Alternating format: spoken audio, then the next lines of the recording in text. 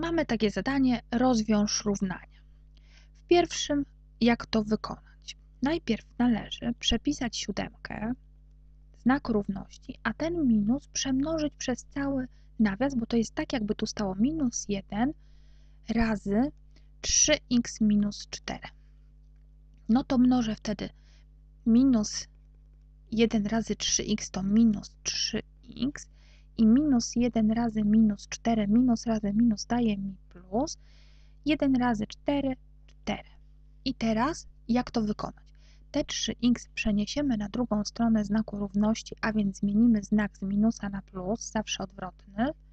Równa się zapiszemy. Czwórka stała po tej stronie, to przepiszemy, a siódemkę przenosimy na drugą stronę, czyli zmienimy jej znak.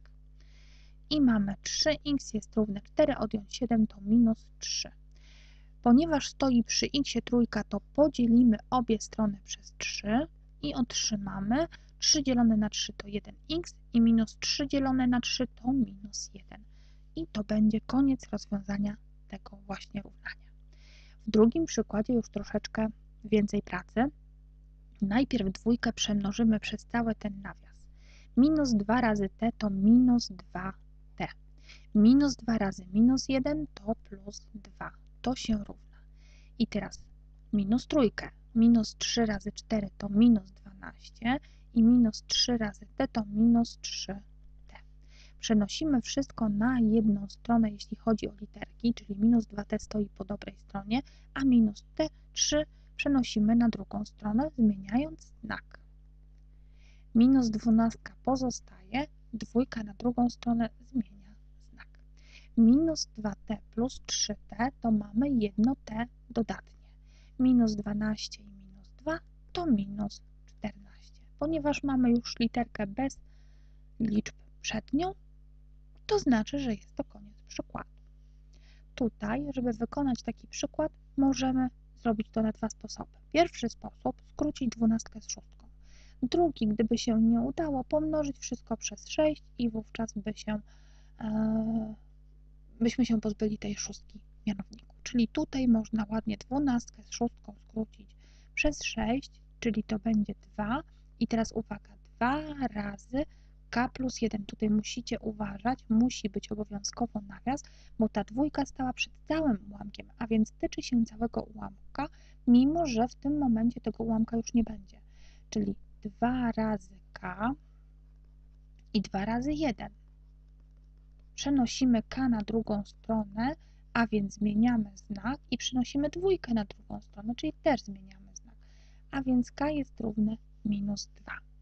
Można było to zrobić na drugim sposobie, tak jak mówiłam, czyli 12, gdybyście nie zauważyli, że uda się skrócić przez 6, to pomnożyć obie strony przez szóstkę i wtedy byśmy mieli tak 12 razy 6 razy k plus 1 przez 6, szóstki ładnie by się nam skróciły i 6k po drugiej stronie.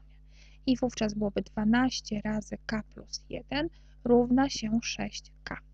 12k plus 12 równa się 6k. 12k przenoszę k6 i zostaje mi tu minus 12. A więc będziemy mieć 6k jest minus 12 równe. Jak podzielimy przez 6, to otrzymamy, że k jest równe minus 2. Faktycznie minus 2, tak? No to teraz kolejny. Tutaj przed nawiasem nie stoi nic, więc tak naprawdę w ogóle ten nawias nie jest potrzebny tu mnożymy przez 6 cały nawias. 6 razy 1 i 6 razy y. Przenosimy y na jedną stronę, czyli y zostaje ten, a ten przenoszę, zmieniam znak. Szóstka była w dobrym miejscu, ale piątka nie, czyli przenoszę, a więc zmieniam znak. y1 odjąć 6 to minus 5y. I 6 plus 5, 11. Wszystko dzielę przez minus 5, żeby pozbyć się tej minus i otrzymuję, że y jest równy 11 dzielone na 5 to jest 11 piątych i jeszcze ten minusik. Mogę wyciągnąć całości, ile piątek się mieści w 11, mieszczą się dwie i zostaje reszty 1. I jeśli chodzi o te przykłady, to wszystko. Ja jeszcze dopiszę parę przykładów. Wkleiłam już kolejne przykłady i rozwiążemy ponownie. 4 razy p, 4 razy 2. 4 razy p, dodać 8. Odjąć 3 przepisujemy tak jak było i 9 razy p to 9p i 9 razy minus 1 to minus 9. W ten sposób porządkujemy strony, że 4p zostaje po tej stronie, a 9p przenosimy za ten znak równości, a więc zmieniamy znak na minus. To się równa. Minus 9 tu było, to zostaje. 8 przenosimy, czyli będzie minus 8 i przenosimy 3, czyli będzie było minus, czyli będzie plus. 4 odjąć 9 to minus 5p, a minus 9 i minus 8 to są długi, czyli mamy 17, bo e, dodajemy te długi i potem mamy 3 zł jakby w kieszeni, ale długu mamy 17, czyli odejmiemy, to mamy minus 14.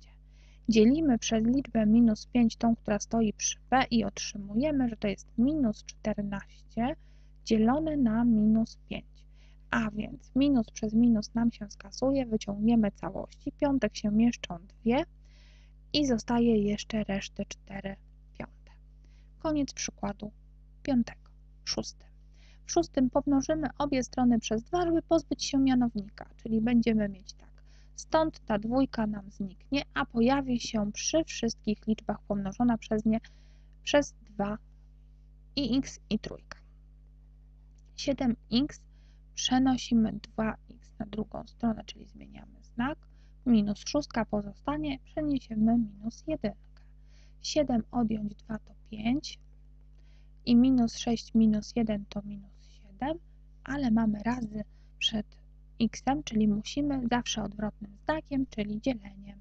A więc x jest równy minus 7 piątych, czyli x jest równy minus 1 cała i 2 piąte wyciągamy całości, czyli ile piątek się mieści w siódemce i czy zostanie nam jakaś reszta. Jak wykonujemy ten przykład? Pozbywamy się również dwójki, czyli mnożymy przez 2. 5 razy 2 to 10. Ta dwójka nam się skasuje, czyli zostanie nam y minus 1 i plus dwójka razy y.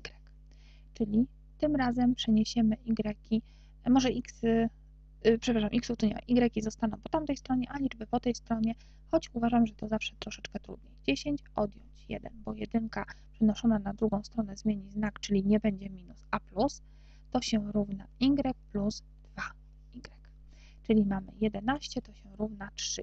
I teraz uważajcie, nie tu coś dzielimy, tylko tu, bo przy y stoi trójka, czyli dzielimy przez 3, a więc 11 dzielimy na 3, czyli otrzymujemy 3 trzecie y. Pokażę Wam skąd się tu bierze, że znika nam, czyli 11 trzecich to nasz y. A więc nasz y to ile trójek się mieści? 3 to będzie 9, czyli jeszcze dwie zostają, 3 i 2 trzecie. I ostatni przykład, który mamy do wykonania, możemy zrobić dwoma sposobami. Pierwszy sposób pomnożyć na krzyż i pokażę tak, a potem pokażę drugi sposób. Pierwszy sposób mnożymy po skosie tak, czyli 4 mnożę razy b plus 1. Pamiętajcie, że mnożę przez całe b plus 1, dlatego w nawiasie. I dwójkę mnożę przez całe b minus 8, dlatego w nawiasie przez całą tą stronę. 4 razy b to 4b, 4 razy 1 to 4. 2 razy b to 2b, 2 razy minus 8 to minus 16.